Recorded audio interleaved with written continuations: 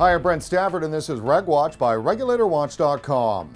The Ontario provincial government dropped a bombshell this week, announcing it would implement its new anti vaping regulations after all. As we reported last December, the Liberals backtracked on their e cigarette regulations after their exemption for medical marijuana came to light. The controversy forced the Wynne government to delay the start date and to go back to the drawing board, which provided a glimmer of hope for Ontario vapers. That hope was dashed this week when the Liberals announced they are abandoning the medical marijuana exemption, with Premier Wynne stating her government has determined that smoking, whether that be vaping, medical marijuana, or cigarettes, should be restricted, and the rules will apply to medical marijuana and to vaping as they do to cigarettes.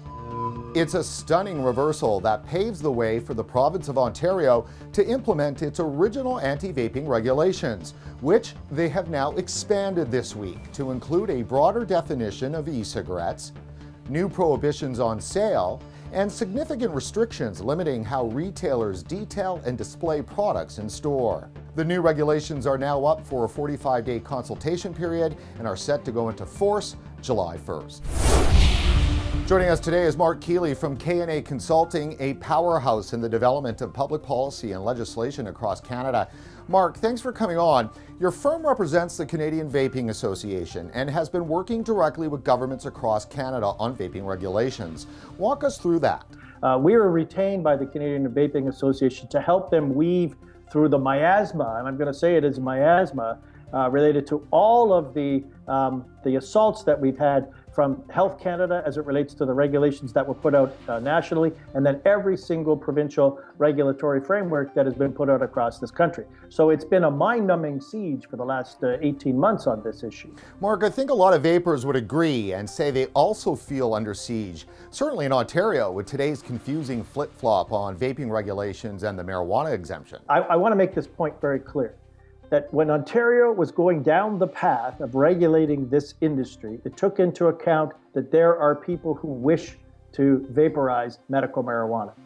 And when they looked at it in the context of how that would flow, they thought, we will be challenged um, on the charter, so we must include that into the legislation. So the Ontario government boxed themselves in? Ontario made, in my opinion, a very grave mistake by mixing it into a, uh, a charter issue by putting marijuana into the uh, regulations at the start. And that caused this problem that we saw in December. How do you mean? Well, what they should have said was we're talking about um, uh, vaping as it relates to an alternative to smoking. It's got nothing to do with marijuana. People who vape uh, mar- who vape marijuana are not the same kind of people who would want to vape uh, an alternative to smoking a cigarette. Why do you think there's so much confusion around the vaping issue? I think that, that regulators or, or governments across this country really don't have the nomenclature down correctly. When they talk about this in the context of, of uh, e-cigarette in the same vein as a cigarette, I think they're wrong. I think uh, what most people are doing is they're saying, I am not going to uh, use a vaping device as a smoking cessation tool. It's an alternative to smoking cigarettes. And so that in, in of itself has really been the crux of the issue. Mark, for the CVA members in Ontario, how gloomy is the picture? Well, I, I don't want to give uh, your viewers and the members of the CVA the impression that they're going to ban vaping uh, outright because it's it's not going to happen. What they're going, what they are saying is that in public places, vaping will be prohibited, and in certain other uh, locations, vaping will be prohibited, consistent to what's happening in the Smoke Free Ontario legislation. Mark, the Ontario regulations are now in a 45 day consultation period. This is a critical time to weigh in. I understand that your firm is recommending specific exemptions for vape shops. We're working on that with our uh, resubmission for the regulations, Brent. But what they are saying specifically is that there are places that will be able to display and promote the vaping products, and that's a, a qualified vape shop.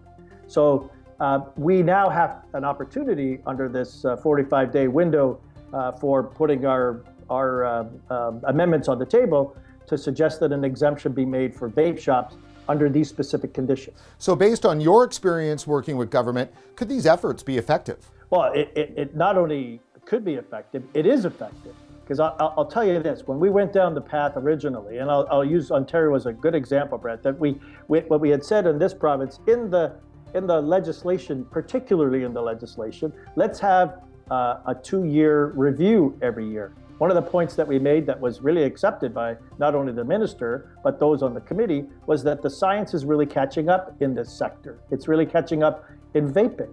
And so once, when folks would say before, well, it contains such and such and such and such, and it's bad for your health. Well, science is starting to debunk those myths and that misinformation. So a, a, a, two-year review is not such a bad thing, and I think we've got some traction on that part.